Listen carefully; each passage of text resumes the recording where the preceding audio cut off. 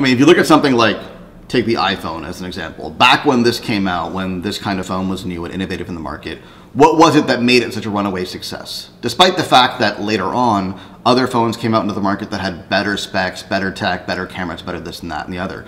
Well, it was Steve Jobs' articulation of the idea behind the iPhone. It was the idea that was compelling that we can have a phone and a music player and a calculator and an internet browser and all that packaged up into one device that you can put in your pocket.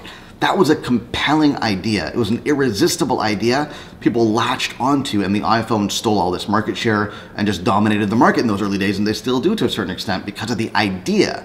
The idea was so compelling. Well, you need to look at your service, your offer, your business, and ask yourself how compelling are my ideas?